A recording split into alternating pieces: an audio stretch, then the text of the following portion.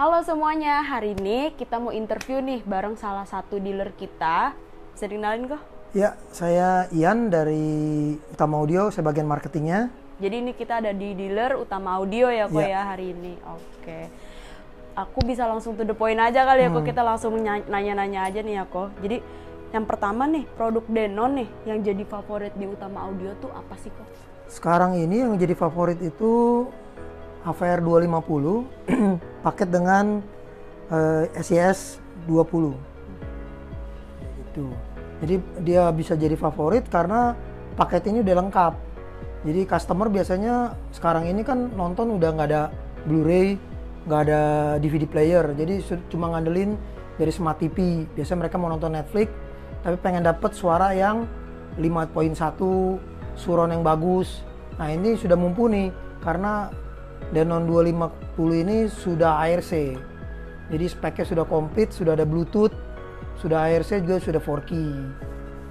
Dan coveran dari speaker SES ini juga bisa sampai cover ruangan 10 meter persegi lah kurang bisa masih bisa. Jadi kalau boleh tahu nih kok berapa sih daya listrik ideal yang dibutuhkan nih untuk home theaternya sendiri, home theater sistemnya sendiri? Kalau untuk home theater sistemnya sendiri, kalau misalkan dia mau main 51 itu 1300 masih bisa karena kan kisaran watt listriknya itu paling sekitar 300 sampai 400 watt untuk 5.1. Sedangkan kalau untuk 7.1, 7.2 ke atas kita butuh 2200 watt untuk listrik di rumah karena kan wattnya lebih gede antara 400 sampai 500 gitu. Nah, yang kira-kira ada produk Denon yang sering dicari banyak customer tapi belum masuk nih di utama audio gitu?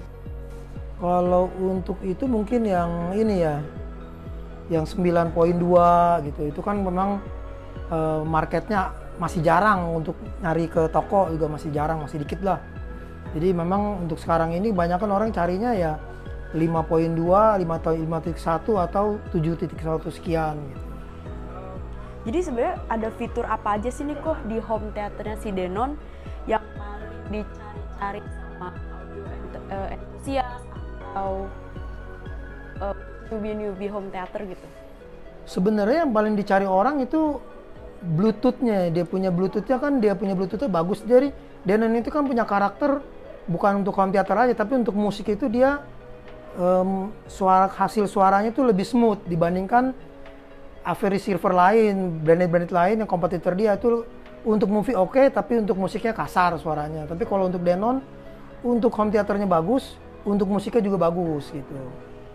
Lancar ya kok ya? Ya, Bluetoothnya bagus, eh, suaranya juga bagus-bagus gitu. Oke. Jadi sebenarnya ada nggak ada harapan apa sih eh, dari utama audio nih ya sebagai Koko sebagai perwakilan untuk Denon harapannya ke depannya tuh Denon seperti apa, bagaimana gitu.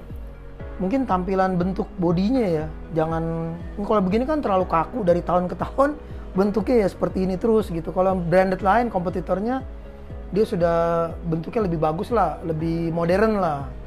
Gitu. Kalau untuk speknya sih udah bagus, udah oke lah.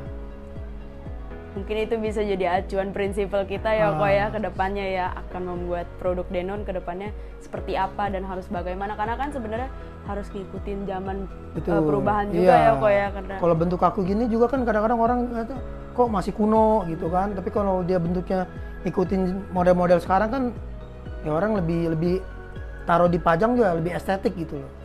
Jadi bisa kayak sebagai desa- eh, desain ini juga ya pajangan juga ya Betul. kok nggak cuman Ah, jadi cuma jadi kebutuhan fungsi buat aja ya. receiver. Betul. Oke.